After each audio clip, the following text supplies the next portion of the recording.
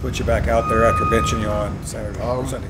Feel good, you know. Uh, just to see that he trusts me, you know, he got got a lot of faith in me to go out there and play um, and get the job done on, on Thursday. Um, at the end of the day, we all out here trying to win, and um, you know that's that's the mindset for the team. Now that you've had time to kind of look back on it, what happened on Sunday? Uh, it was all around, but it started off with me just not converting on them third downs. You know, just getting the drives going. Uh, you know, we can't start off slow like that. You know, I got to start off fast, be able to convert on third down. Um, we had an opportunity. You know, something just didn't go right, and from there, you know, the interceptions. Uh, I've been doing a good job in the past few games of protecting the football and not forcing things. You know, I, I felt like I just started to press and started to try to do too much as a player.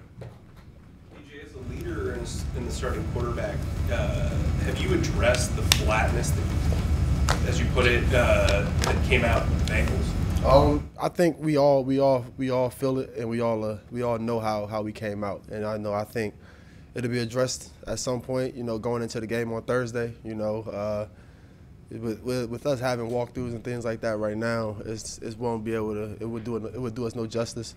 So for us to go out there and have had that energy on Thursday, you know, we need it. You know, we thrive off that, and um, I'm looking forward to it. Looking for looking looking forward to the guys that go out there and compete and play hard. With it being a short week, is there any way that you personally prepare differently, do anything differently physically? Nah, nothing physically, nothing different preparing wise on a, uh, when it comes to the mental. Uh, you know, just continuing to just grind, grind it out, and uh, take advantage of the time. You know, it's a short week, and um, for me, it's just if I got to work out, if I got to work, it's harder. Double, double the time for me in, in this building. That's that is what it is. So for me, I'm gonna put the work in and make sure I'm prepared on uh, Thursday. Does it make it kind of easier to flush what happened this past week? It do. It do. You know, I'm not. I'm not. I flushed it honestly once I got to the bench on, on, on Sunday.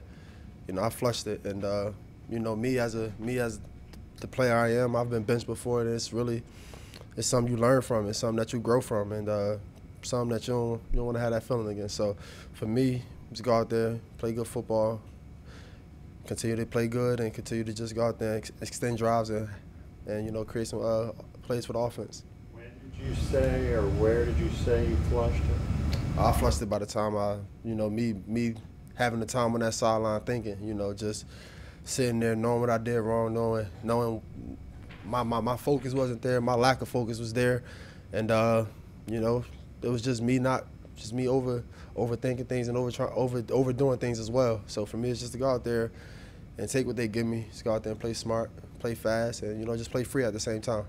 How encouraging was it for you to turn on the tape of the Falcons game from, what, nine, ten days ago?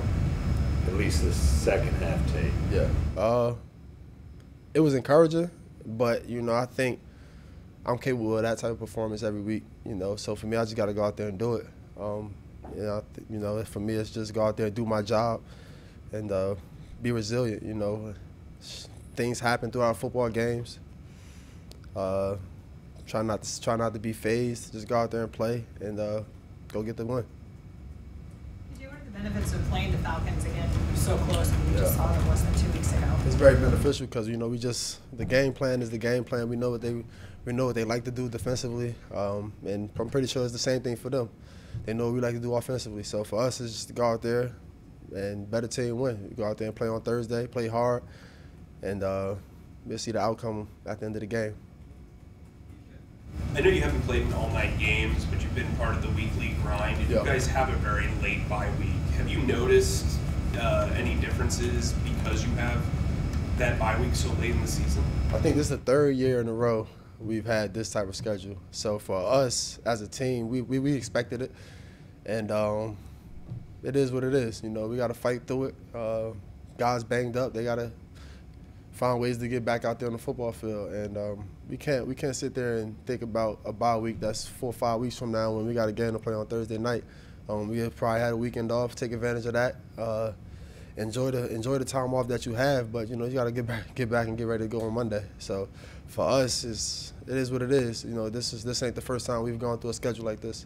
PJ, you mentioned like the need to be resilient. Can you think of like another time in your career where you had to bounce back from something that was quite as tough to go through as that last first half? Uh, put me on the spot, but uh, it's been a, it's been. I've had a couple of games in my in my career where you know uh, bad things just happen, and you know as a as a as a quarterback, you cannot let that affect you. Um, as a football player in general, you cannot let that affect you. You know. Uh, so for me, it's just go out there and be you. Don't go out there and change your game. Don't go out there and take your aggressiveness away, but be aggressively smart. You know, that's the way you got to approach this uh, this week.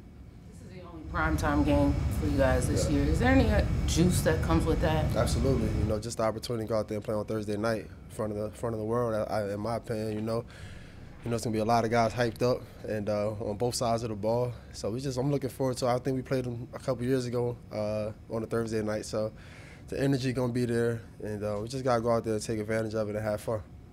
Talk about you know focus kind of being the issue for you in that first half, like when when does that come into play? Is that pre-snap? Is that after the ball is snapped and you're kind of diagnosing? When when is that kind of sharpening or not? Uh, it's it's more pre-snap for me. Um, you know, 'cause once the ball snap, you can react and do things. But um, you know, pre-snap, you got to make sure your mind is always on seeing seeing what you gotta seeing what you done saw on film all week. You know, uh, I was just trying to see too much on Sunday, and um, and I haven't been doing that. You know, I've been I've been narrowing my scope, and you know, seeing seeing seeing certain things that I needed to to get me my keys for coverages and things like that. So for me, it's just narrow it down. Don't think about it too much. Just go out there and play. You know, for me, it's just see a little, see a lot. I know you're on the offensive side of the ball, but when you see coaches fired after the performance, what does that do in the locker room? Um, it's tough. You know, it's tough, especially for a group of guys that actually, you know, care for their coaches and things like that. It's tough, but you know, it's like I said with, with the Coach Rhule situation. Not to bring it up, but uh, we got to continue to play. You know, we got a game Thursday. It was a quick turnaround, and uh, just get out, get out there and get ready to go on Thursday. You know, it's things happen. You know, we just got to find ways to go out there and overcome them. Have you ever played in a primetime game?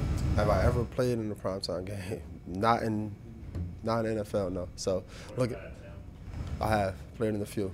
So it's football is football, whether it's Temple, XFL, NFL. Uh, the eyes are always on you. So I'm just looking forward to it. Let's have one prime time, huh? Go ahead. How? Go ahead, Mike. I would say you talked about looking at that second half tape from Atlanta and being kind of inspired, and looking at the first half from Cincinnati and flushing it. Yeah. In your eyes, did you did you recognize yourself Sunday compared to how you played previously?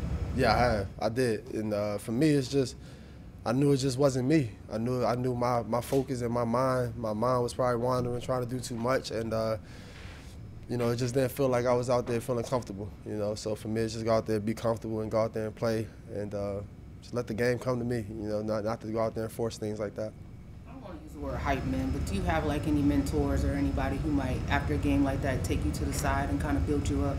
I got a lot of good teammates. Um, I think almost the whole team pretty much came up to me and you know showed me some love after that after that game. Mean, they knew it was tough for me, but uh, you know them guys rocking with me and they they they all there they all there sticking with me. So that's all that mattered. That just shows me shows them guys got the trust in me. You know, so for me it's you know we have we we have our bad days and you know it's, it's about how you bounce back from them.